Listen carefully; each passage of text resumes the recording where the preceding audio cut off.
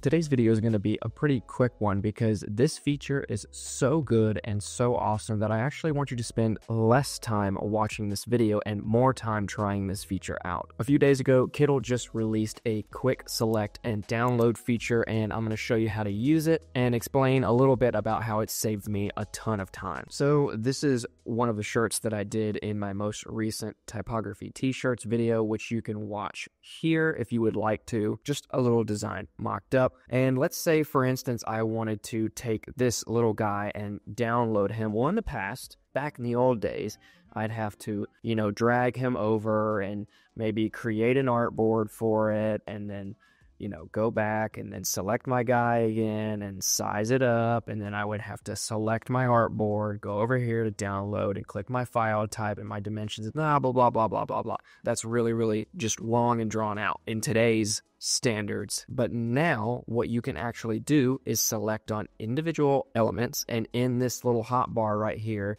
you're going to see download selection. I know, crazy. So what you're going to do is click that and then you're going to get some options here. So you can select SVG, which clearly is going to omit the size category because SVGs are vector and you can scale them without pixel loss. And so you don't really need to choose. Size doesn't really matter, right? But the fact that you can download SVGs individually like this is a huge win. But say, for instance, for some reason you wanted to have a PNG, something that you're uploading this to doesn't support a vector format or SVG or EPS, you can click on PNG and then boom, you'll have your size options. You can either one times, two times, or three times the size of this. And this is going to be dependent upon how big that element is on the artboard. So my artboard is 4,000 by 5,000 pixels. And so what I'm selecting is the amount of pixels that this takes up on the artboard. And another little handy little key trick that I'll show you is over here. This actually shows you the dimensions of whatever you've selected. This also used to not be there.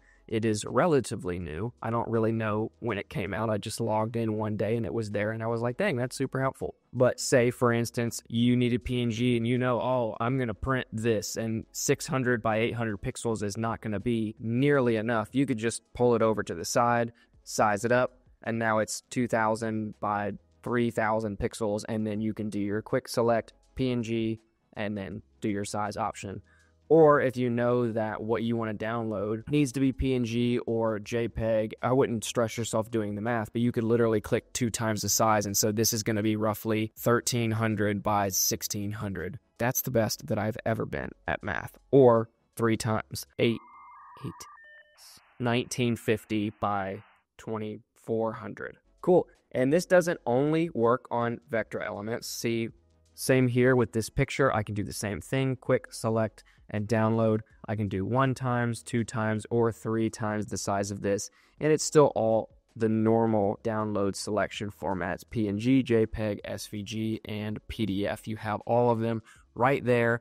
This just saves so much time. I have literally been using Kittl as a background remover and element download tool the past couple weeks with the merch collection that I'm working on. It's been so helpful versus Photoshop where I literally have to like pull it in and then I have to remove the background and then I have to go into the layers panel and then select that layer and then right click and then click export layer as and then it brings up another window and then I have it's just a whole load. This is way faster and way easier. So a question that you might be having is how does that work with multiple selections or groups? Well, I'm going to tell you. So let's say that I have these three individual text boxes. If I click and select all three of these and they're not grouped, not grouped, they're not grouped together. You have not yet clicked Command G and they're still independent from each other. If I go and I download this, PNG, size 1, SVG, whatever, I probably do SVG, and I download this, it is going to download as three separate files in a zip file for you.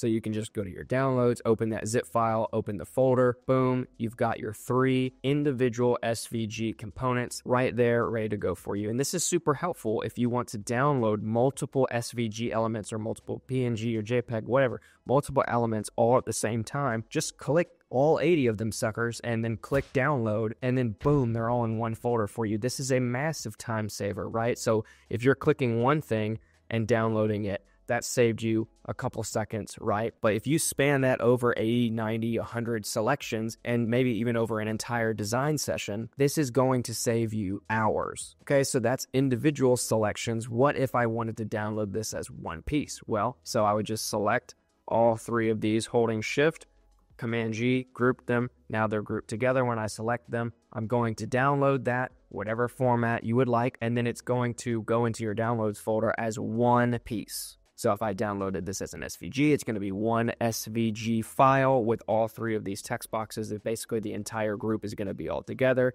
PNG, JPEG, PDF, whatever you've downloaded it as, it's going to be one whole unit together. And this is super helpful, right? You know, for instance, if I was doing this as a t shirt and I wanted to do different colors, like that was going to be red, and then my little coffee cup guy down here was going to be blue you know, I'm going to change my colors here. And then, so now I've got three different colors. And if you're going to go screen print this, they're going to want three different files. They're going to want the layers, right? So I can download this guy and then I can link these two together, download that selection as one piece, and then I can download this as one piece as well. Again, this does work with any element in your project that's text, AI generated art, any of the elements, any of the pictures from the images panel, basically anything that you can put in your canvas or on your artboard, you can select and download that individual file without having to create a whole nother artboard and then download that single thing on the artboard. It's just way easier. Now, this is just way better, I promise. You may not have even thought about this being a thing, but now that you have it, I promise it's going to change your life. This has completely changed my workflow just entirely.